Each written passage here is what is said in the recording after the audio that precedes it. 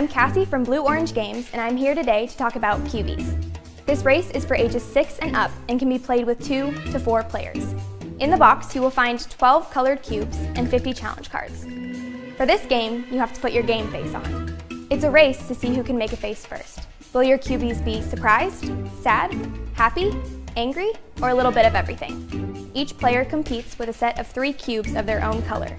The game includes 50 challenge cards that portray which bunny face to replicate with the cubes. Each turn, flip a card to show a face and race to position your cubes to match it.